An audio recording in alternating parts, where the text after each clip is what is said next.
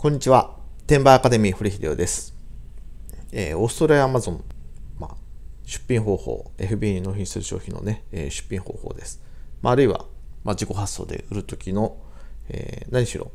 出品の入り口がね、日本とかアメリカと違って、えー、商品ページから親切にすぐ出せるという仕組みになってません。えー、日本アマゾンは、まあ、出品本当簡単ですね。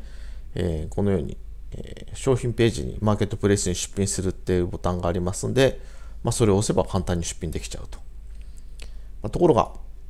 オーストラリア、ね、えー、何もそんな表示がありません。えー、そこでね、えー、セラーセントラルにログインして、インベントリータグの、えー、アドアプロダクトをクリックすると。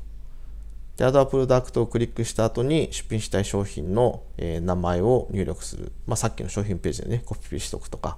まあ、出品数のメモ帳に入れとくとかいう形でね、用意しておいたのを、えー、入れて検索すると。そうすると商品が出てきます。で、えー、セルユアーズをクリック。そして、えー、個数と価格を入力します。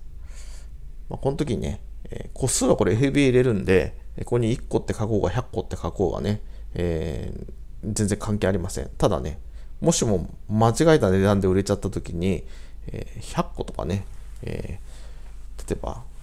30ドルで売ろうと思ってた商品をね、え間違えて3.0と入力しちゃっててね、3ドルで売んなきゃいけないとなったらね、え100個出品してたら100個、え売らないという風になってね、キャンセルしたら一発でアカウント吹っ飛びますし、え逆にね、30ドルで1000円儲かるところ3ドルでね、100個送ったら、え1700円かける100ですから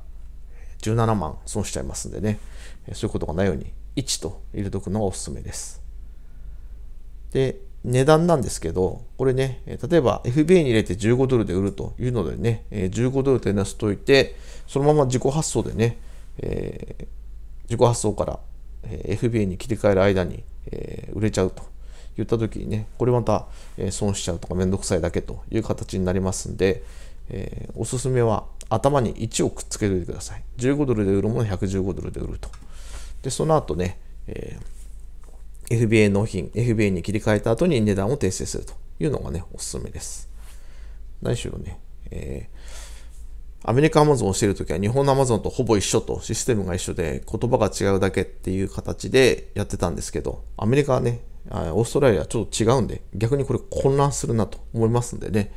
まあ、そんな無理に慣れないうちはアメリカとオーストラリア両方じゃなくて、オーストラリアだけに、え集中した方がいいです。